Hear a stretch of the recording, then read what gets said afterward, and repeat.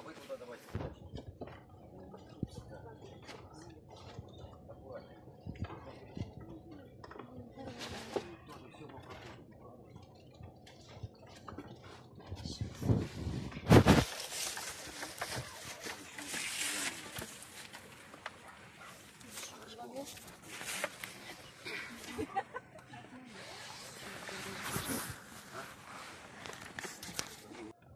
Девушка толерантно относиться друг к другу. Хорошо? Ні, ну ви ж бачите, що воно Я вижу, но я говорю, давайте я туда чуть-чуть. Ну я что, я ж не против, мне ж надо как-то все распаковаться.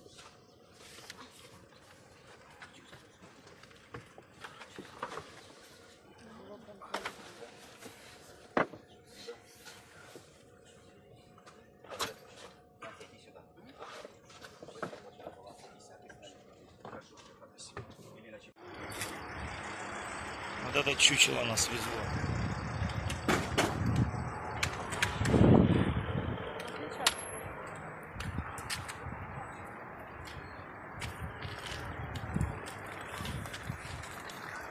на приміський поїзд з полученням води Миколаїв. Поїзд знаходиться на третій колії. Что я вам хотел рассказать, так как нас утром собирали э, в 5 утра, приехала маршрутка. Я отдельно сфотографирую визитку этих а перевозчиков. Туда они везут за 125 гривен с человека, назад за 100. Ну, как и все перевозчики с лазурного в с Херсона в лазурный. Но интересное следующее. А, Приехал Мерседес Спринтер, там на 22 человека или на сколько. И что вы думаете?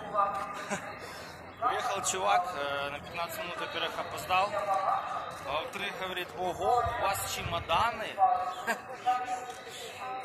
А мы говорим, ну да, мы вроде бы как бы не в магазин за продуктами вышли, едем с моря. А что вас удивляет? Э, ну, у вас максимум должна была быть как ручная кладь.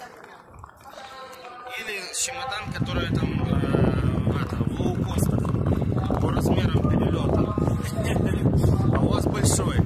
И еще и не один, а два. Я говорю, дядя, ты вообще нормальный? Это 5 утра, представьте. Ну, а потом э, ему говорят, э, ну да, вообще-то это нормально, что людей чемоданы, куда нам их ставить? А там уже стояло две сумки сзади, там, где у него двери открываются, в спринтере. И мест уже ну, для нас не было. Это при том, что мы были там вторые, нас забрали. Там два человека сидело уже или четыре. И вот мы следующие, кого забрали. И уже не было куда, естественно, ставить. И он говорит, если будете возмущаться, выделываться, сейчас вообще никуда не поедете, я вас оставлю и уеду. Вот так. Можете представить, первое, кто дает лицензии вот этим всем гибридам, перевозчикам так называемым. А, второе, это просто ну, быдлячество, я не знаю, как назвать.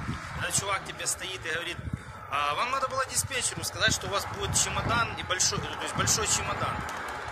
Еще и два. Чемодан и сумка. Ну, то есть, это значит, э, если бы мы сказали, то нам, наверное, бы дали большой автобус специально под нас, да? Ну, смешно, правда? Или вообще не смешно. Вот, поэтому а, еще потом начал угрожать, что мы никуда не поедем. А потом, когда остальные люди, естественно, которых он собирал по Лазурному, по поселку, а, там люди вообще были в афиге, потому что все ставили в проход, у меня чуть-чуть снято есть это видео. Я очень хотел спать, поэтому я не снимал все это дело. Ну, а когда у нас это был разговор с ними, мини-конфликт, скажем так, а я просто молчал уже, было так фиолетово, а вот, то телефон, естественно, я не включал, потому что в это время грузили сумки. Никто же не будет доставать телефон, сначала снимать и слушать, никто не знал. Но я теперь буду знать, что телефон надо всегда или камеру держать на поготове. Вот, и снимать все вот такие вот ситуации. Очень жалко, что я не заснял, но поверьте, не придумал. Вот. Поэтому, уважаемые товарищи, с юга, я думаю, это относится к Железному порту, Скадовску, и даже к Одесскому региону. И, во-первых, отдых у вас достаточно таки не дешевый, потому что вот нам вышел этот отдых практически по цене отдыха за границей. Вот. А сервис у вас говно. Вот именно сервис. Да, я понимаю, есть хорошие люди. Это, возможно, зависит от людей, но извините. Был бы другой водитель, но он приехал бы на том же спринтере. То есть кто дает, кто это все контролирует, кто возит. И должен быть э, большой автобус, вот как этот едет.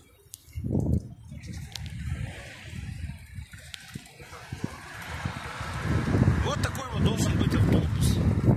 Это нормальная туристическая штука. Вот. А тут ездят на и хотят, чтобы э, ну, как-то возить людей.